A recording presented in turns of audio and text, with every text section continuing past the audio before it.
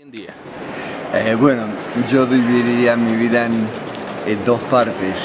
Em, ya en Argentina hacía cositas em, vinculadas con los medios, producíamos eh, un, un, periódico para niñas y niños que se publicaba los domingos, eh, participaba en un programa de televisión hasta que llega la dictadura y tengo tengo que salir de, Argentina en aquellos momentos asiagos y oscuros.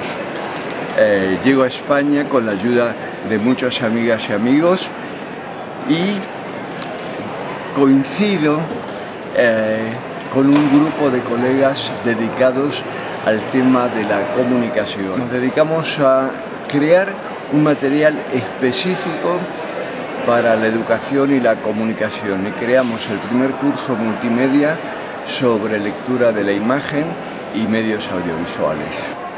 Eh, creo que mientras el tema de la educación mediática no sea un tema de política de Estado, es una cuestión meramente anecdótica y solamente se van a tomar eh, temáticas que no sean provocativas temáticas que sean muy simples, muy rancias, eh, pero que sean divertidas, eh, de tal manera de alejar cualquier eh, manifestación de conciencia crítica.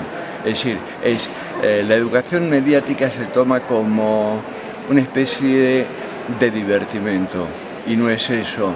la educación mediática se trata de un aprendizaje en los nuevos lenguajes. Creo que los gobiernos tienen que plantearse el tema de las nuevas alfabetizaciones, las, las transalfabetizaciones.